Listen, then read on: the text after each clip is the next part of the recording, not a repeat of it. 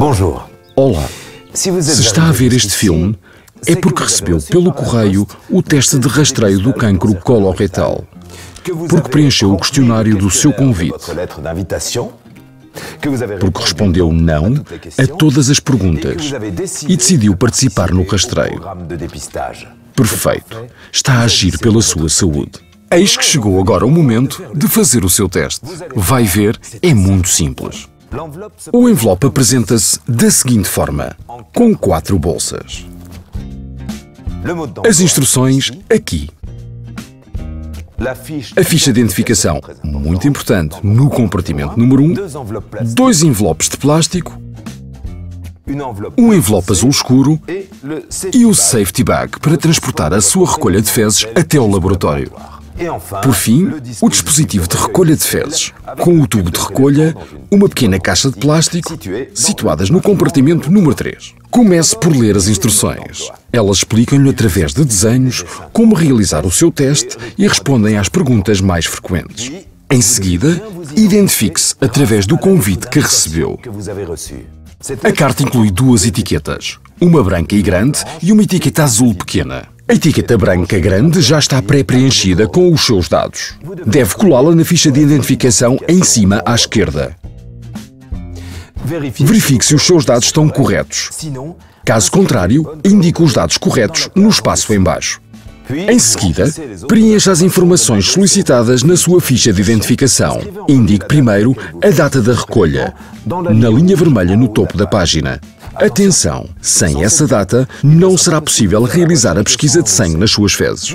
Retire então o tubo da sua caixa de plástico transparente e cola a etiqueta azul pequena no tubo onde estão o nome e a data. Vamos agora ao teste. No compartimento número 3 encontrará a folha de recolha de fezes, quer dizer, do cocó.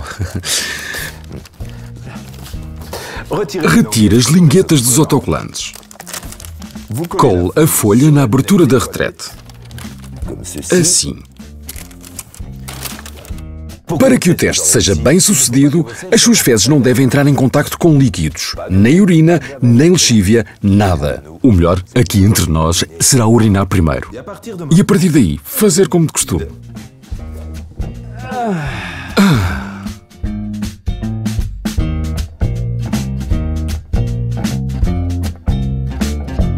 Bom, Bom, já está. Agora abra o tubo, desenroscando a tampa assim. A extremidade desta haste é estriada.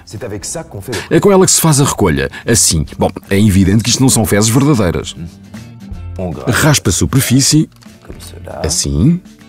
Até que a parte estriada fique totalmente coberta. Perfeito. Em seguida, recoloca a haste no tubo, feche bem e sacuda durante um minuto. Puxa o autocolismo da retrete e coloca o papel, claro, num saco de plástico, para deitar no lixo. Em seguida, envolva o tubo com o papel verde absorvente e volta a colocá-lo na sua caixa de plástico rígido, para o proteger. Depois, enfia essa caixa no safety bag, está a ver, é assim, retira a lingueta branca e puxa o saco dos dois lados, para o fechar bem. Coloque agora a sua saqueta Safety Bag no envelope pré-pago azul escuro que tem o endereço do laboratório. Acrescente a sua ficha de identificação, bem preenchida, e não se esqueça de etiqueta branca. Não precisa de selo, já está pronto para enviar. O melhor é enviar um envelope no dia do teste. Não é possível? Não é grave. Pode enviar o envelope no dia seguinte, o mais tardar. Assim, já agora um conselho: evite enviá-lo num sábado ou numa véspera de feriado. Agora é só esperar pelos resultados. Vai recebê-los no máximo daqui a 15 dias. Como lhe disse, é muito simples. E, sobretudo, o mais importante, pode salvar-lhe a vida. Conto consigo agora.